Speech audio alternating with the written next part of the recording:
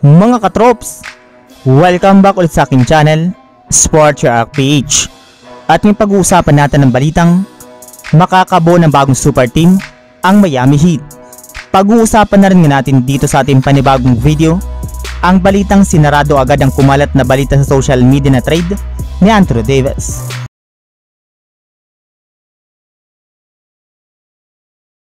Napag-usapan pala nga po natin mga katrops na isa nga po ang Miami Heat sa mga teams na hindi man lang gumawa ng trade o kumuha ng bagong manlalaro sa trade deadline. Pero hindi rin naman nga po ibig sabihin nito na hindi sila magpapalakas at magpapa-improve pa ng kanilang lineup ngayong season. Sa katunayan, balak na naman nga po nilang bumuo ngayon isang bagong super team sa pagkuha nga po nila ng mga bago at magagaling na players sa loob ng buyout market.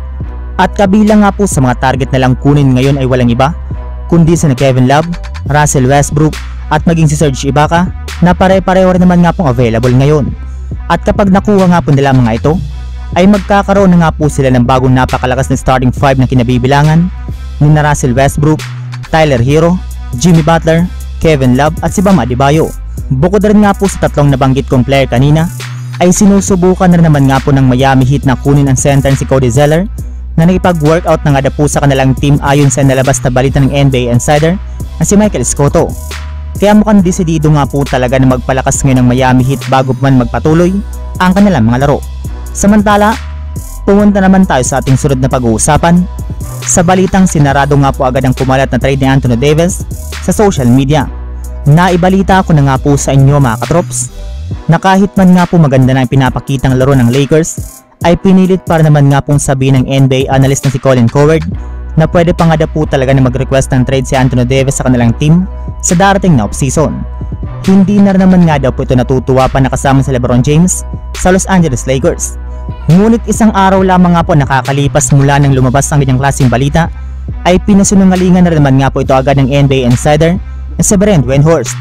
Ayon nga dito mga katrops, 100% pa rin nga daw pong gusto ni Anthony Davis na manatili sa Los Angeles Lakers kahit anuman ang nangyayari ngayon sa kanilang kupunan. Paunti-unti na naman nga pong humahangang muli si Davis sa kanilang team dahil sa pagkakabuo ng kanilang bagong lineup. Kaya asahan na nga daw po ninyo na hindi gagawa ng trade request ni Anthony Davis sa Los Angeles Lakers sa darating na offseason at yan nga po ang dapat ikatuwa ngayon ng kanilang mga fans. So yun lang mga katrops, ang handog kong story ngayong araw.